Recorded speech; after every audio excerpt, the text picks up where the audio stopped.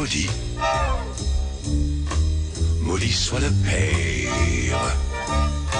Maudit soit le père de l'épouse du forgeron. Du forgeron. Du forgeron qui forgea. Du forgeron qui forgea le père de la cognée.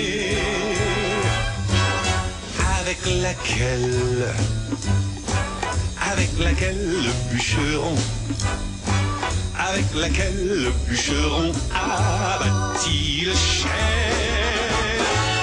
abattit le chêne dans lequel, le chêne dans lequel on sculpta, on sculpta le lit où fut engendré l'arrière-grand-père de l'homme qui conduisit la voiture.